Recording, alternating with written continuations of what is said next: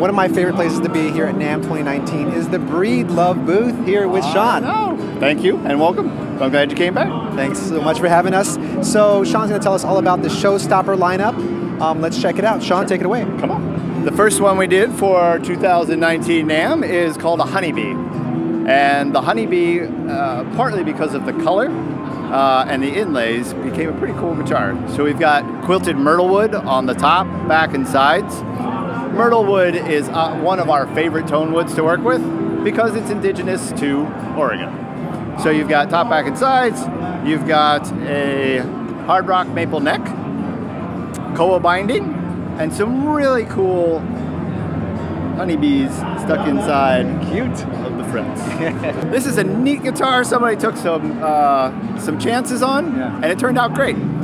So we've got you know the shipwreck here on the inlay.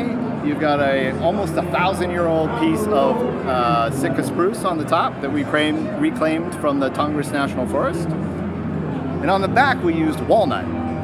And in the shop they found a way to kind of manipulate the wood to look like old planks. And we put some seaweed in there and a starfish. And uh, this is a concert body. And that's this year's uh, second showstopper. and for some real fun. Yeah. this looks really cool. You know, it really is a nice opportunity to get something cool and be a little creative and get away from what would be a typical look for a guitar. So here we have used an all mahogany body, Honduran mahogany, and we've done a dog hair finish on it. Uh, we've inlaid some spider webs and a nice little spider here.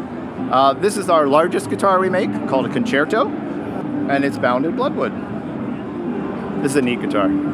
Beautiful. Can I ask uh, how much something like this is going for? What's the MSRP? These are all between six and ten thousand.